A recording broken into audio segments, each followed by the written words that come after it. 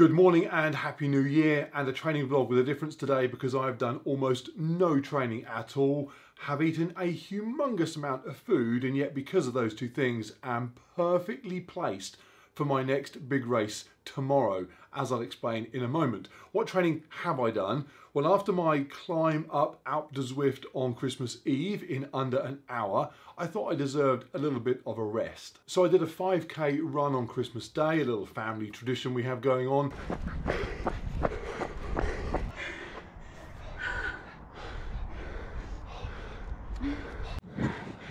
Five k. It was five k.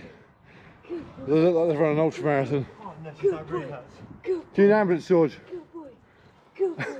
and then just spent the last seven days walking the dog. What impact does doing absolutely nothing for a week have? I'll find out in a moment because I'm going to jump on the bike and do a quick Zwift ride shortly. I feel heavy but well rested right now, so I'm going to say somewhere between excellence and death. That's my prediction. So in the absence of any training to report on, I'm going to answer a few questions that got thrown up when I asked if anybody had any a couple of weeks ago. But first, everybody's favourite question, what did I get for Christmas? Actually, the first present I got was at 2.07am on Christmas morning. I know because I stayed up to see it happen. This channel hit 5,000 subscribers. As many of you will know, I had bet my children that I would get to 5k before the end of the year. So to do it on Christmas Day and to be able to wake them up with that news was a beautiful thing. I only wish I'd been more confident that I'd have achieved it. I'd have gone ahead and ordered them some Christmas t-shirts to celebrate. Still, there is always 10k by Easter. Make that happen. And then Jenna got me these Altra Lone Peak 4 boots, the fully waterproof boot version of my favourite trail running shoe, the Altra Lone Peak 4. She may have only got them for me to encourage me on more boring walks in the countryside with her, but either way, very, very cool. But I had that covered because I got her a Garmin Fenix 6S in rose gold and white, although I expect Garmin call it something else other than white.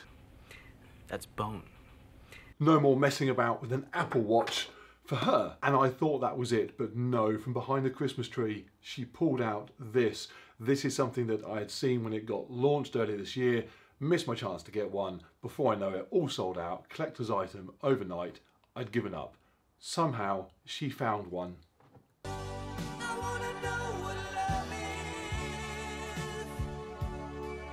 That is a G-Shock Frogman Borneo Rainbow Toad Special Edition. Very above average. The kids think it looks completely ridiculous, but I have a solution to that. Very, very cool indeed. I cannot imagine what she had to do to get that. Actually, I can imagine what she had to do, but my camera gear hasn't been touched and she would have let slip if she had an OnlyFans account so it remains a mystery. Okay, Q and A. I knew this week was going to be light on training, so I put up a post a couple of weeks ago saying, hey, any questions, ask me. Some people did. Let's blast through them. Steve says, climbing Alpe de Zwift, did you change the trainer difficulty at all? Trainer difficulty is, the simplest way of explaining it, is it alters the gearing on the bike relative to the terrain you're riding on so that you feel climbs less. That's the best way to describe it. Uh, you still need the same amount of wattage to get up a climb but you're able to spin up the pedals to generate it in an easier way than if the hill was very realistic where you'd be grinding away. Uh, yes, I do change it from the standard, which is 50%. I change it to 75%. He goes the other way to 30%. I don't know why really, I just find it fits my pedaling cadence style. My bro science tells me that as long as I don't run out of cogs available above and below the ones that I'm in most of the time, I'm probably at the right sort of gearing, who knows. Dark Flame Jam, favourite dinosaur? As what? As a pet? As a, as a thing to go and see in the zoo? To meet? Insufficient context. Next, how long before you can no longer call yourself a cycling noob? Good question. I'm thinking I might be done. Last year, it was true that I was a newbie, and it's also very clickbaity to say it, so the holy grail of the YouTube search engine. But I'm now, I'm only six months in, so I'm still, I'm going to go from now on with novice. My picture was in a video a couple of weeks ago. Can I get royalties? No. Okay. Gregory, what is the target time for your Ironman and a breakdown of where you think you'd be faster and slower? What is your job? Why did you change your lifestyle? Uh, target time for the Ironman is going to be 12 hours. I'm thinking a four hour run seems feasible after all that. And that's about as far as I've got really. I know that a 12 hour time is regarded as being an okay time. It's more than just completing an Ironman. You have had to train for that and you've, you know, you've pushed on, uh, especially at my size. The swim's going to be the worst part for me. Uh, the bike will be the best, I think. Uh, I'm on a pretty fast bike and I'm reasonably powerful on a flat course that I'll be on. So that's my plan. Uh, what's my job? People ask my job all the time. I don't know why. Um, I advise and assist people with uh, taxation and investments and trust planning for the most part. It is a very different world to all this. It is a world that allowed me and encouraged me pretty much to get very, very out of shape. But it's also a world that allows me to buy the toys that I now use to get in shape. Obviously, it has no similarities to anything I do here, other than I do try and squeeze in as many funny one-liners as possible. Why did you change from unhealthy to healthy? Good question. Probably a video in itself. Here's the short version. I was in a relationship with a status best described as fragile. So I bought myself a self-help book on relationships and it was horrific. Appalling book from start to finish all sorts of nasty alpha male gibberish, apart from one paragraph on health and fitness. It basically said, you should improve your health and fitness because it might help your relationship. And if it doesn't and your relationship fails, you'll be glad that you improved your health and fitness. And it just clicked for me. In a broader sense, it doesn't matter what is happening in your life that you are thinking is not going the way you want it to, whether it's a, a situation with work or family or relationships or your health, whatever it might be. Improving your fitness, your health, how you look, cannot possibly hurt that scenario. And it could well make it better. And long term, no matter what happens, no matter how things play out, you not being a bag of shit in the future can only be a good thing. It's a pretty simple concept, obviously, but sometimes you just need that brutally simple message thrust into your face before you realize and it clicks with you that it was obvious all along, even if it comes in the form of a single paragraph in a book that was otherwise complete pants. Uh, Boris says, what do you eat in a typical day besides donuts? Donuts. Tiffin cookie. I will do one of those videos. I'm always a little bit hesitant to do the specifics of what I eat and how I train. I am not an expert in any of this and so following what I do too closely might prove to be pretty suboptimal for you. In fact, it's probably pretty suboptimal for me sometimes. My message is not so much, here's what I'm doing, you should do it that way too. It's more, here's what I'm doing with a particular mindset and a particular approach and an attitude. And you might want to try a similar approach because it might help you get results in whatever it is you want to do, which might be completely different to what I'm doing. It's more about how I'm doing it uh, rather than how I'm doing it. That makes no sense. Hopefully you understand what I'm talking about. But I get the appeal of such things and I will do something along those lines in the near future. Uh, Adrian says, what stats do you have on your Garmin during activity? How do you gauge if you're doing good or bad? Good question.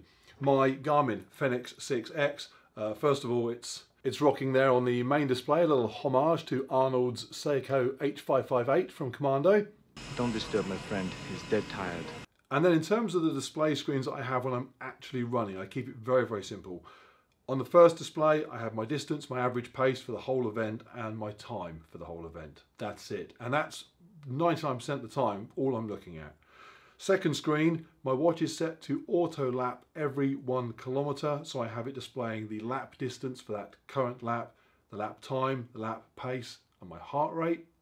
Third screen is then my heart rate monitor because occasionally I run runs based purely on heart rate effort. And that's it. I have those three screens most of the time, in fact, nearly all the time. What I'll sometimes do is add to them. So if I'm going after a particular set time over a distance, I'll use the Pace Pro feature. If I'm running off-road, I might have the map downloaded into there so I can see what's coming up geographically. But nine times out of 10, I'm just using that really simple information on the front couple of screens. How far have I gone? How long have I been going for? And what is my pace?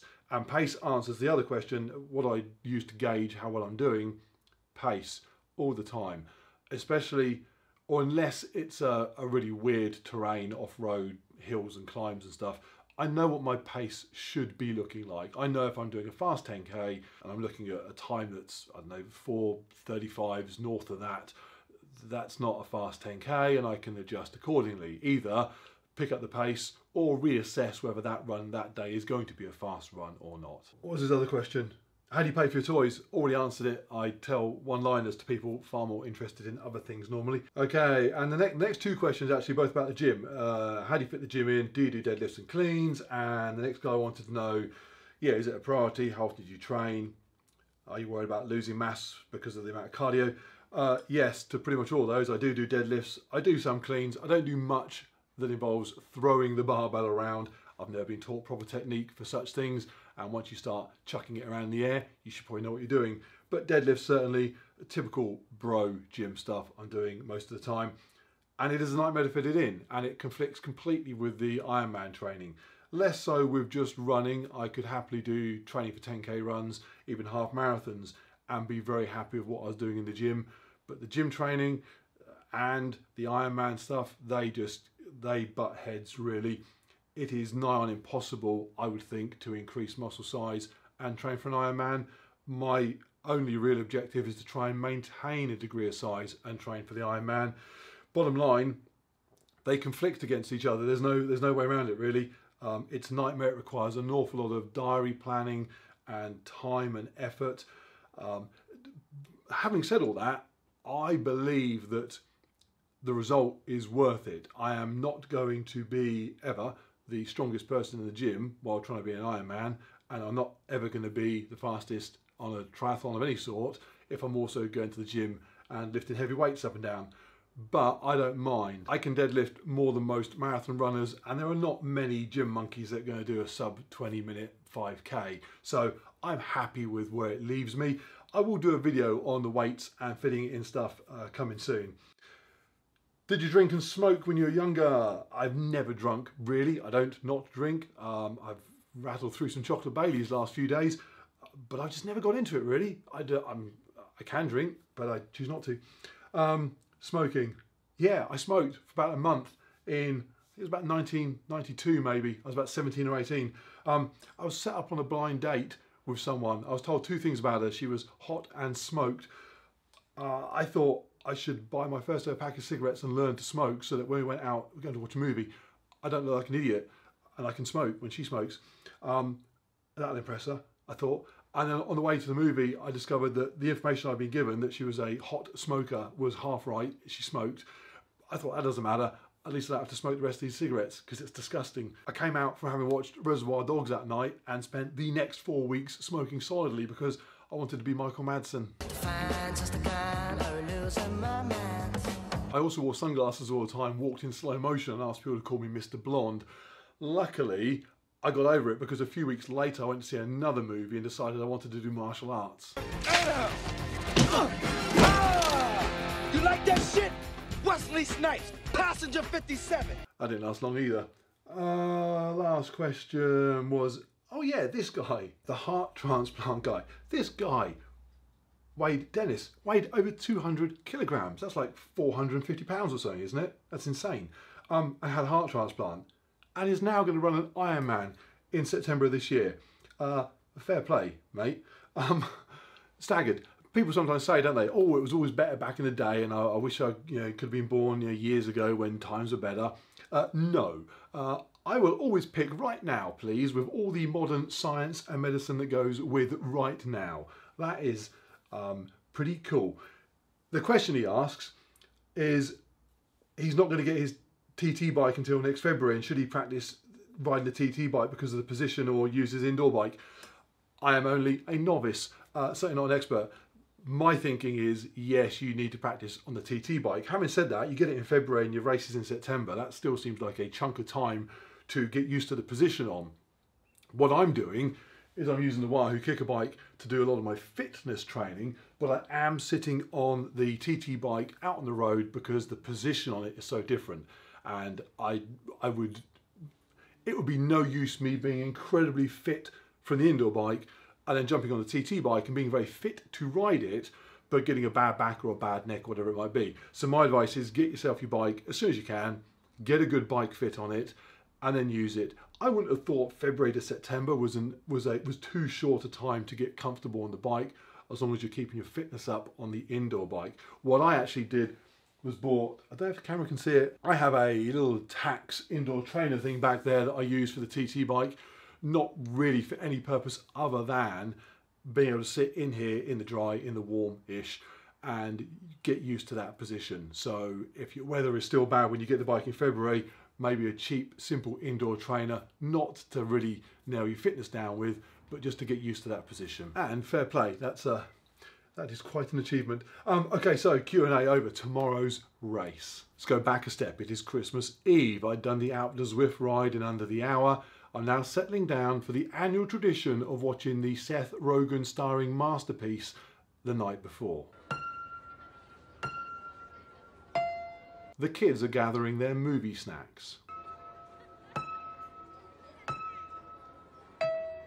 They look very, very tasty. But I'm telling myself, no, be sensible, you don't need that. And then somebody mentions online a big downhill race taking place January the 3rd on Zwift, a race I'd heard about but not really paid much attention to. A quick Google and it turns out that the heavier you are, the faster you ride downhill.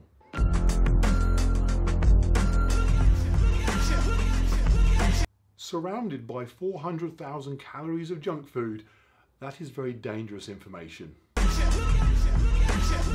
And so an idea was born, an idea to allow my weight to creep up so that I could fly down the hill.